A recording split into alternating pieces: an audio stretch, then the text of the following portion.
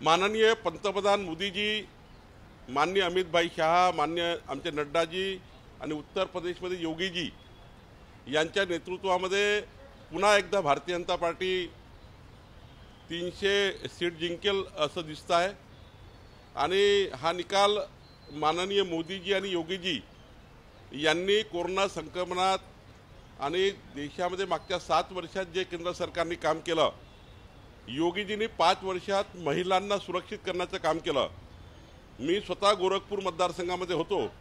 महिलांची जास्त त्या ठिकाणी योगीजींच्या बाजूने पाठबळ होतं. आणि महिला सुरक्षित आहे. मी स्वतः बघितलं की नऊ नऊ दहा दहा वाजेपर्यंत महिला आता बाहेर निघू शकतात. पहिला असा काळ होता की सहा वाजताच्या बाहेर नंतर महिला बाहेर निघायच्या नाही. इतका भीतीचं वातावरण होतं. आणि त्यामुळं आज अन्न देणे लोकांना कोरोना संक्रमणातनं आज बिना मास्क आपण फिरतो आहे हे मोदीजींनी आणि योगीजींनी त्या ठिकाणी करून दाखवलं.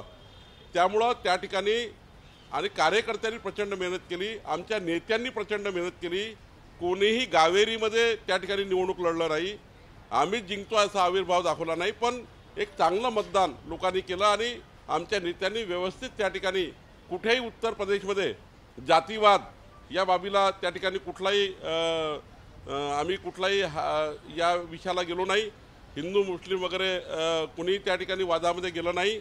आणि योगीजींनी माननीय मोदीजींनी धर्माचे कार्य संस्कृती विरासत लोकांना काय गरीब लोकांना आज गरज आहे या सर्व बाबीवर म्हणजे झोपून उठल्यापासून झोपतपंत माणसाला ज्या गरजा असतात त्या गरजा पुरवण्याचं काम योगीजी आणि मोदीजींनी केलं. आणि माननीय अमितभाई आणि नड्डाजींनी यांचं योग्य नियोजन केलं. त्यामुळं उत्तर प्रदेशमध्ये आज आम्ही जिंकतो आहे गोव्यामध्येही माझी आपल्याला जबाबदारी सांगणार आहे की गोव्यामध्ये सिंगल लार्जेस्ट पार्टी म्हणून भारतीय जनता पार्टी असेल दुसरा पार्टी राहू शकत नाही. उत्तराखंड देवभूमीमध्ये सुद्धा चांगले निकाल आले आहेत. मणिपूरमध्ये भारतीय जनता पार्टी जिंकत आहेत. आणि आपल्याला माहीत आहे की काँग्रेसजवळ एक राज्य होतं तेही गेलं आहे. आप तिथे येत आहे. काँग्रेसची संपूर्ण पिछेहाट झाली आहे.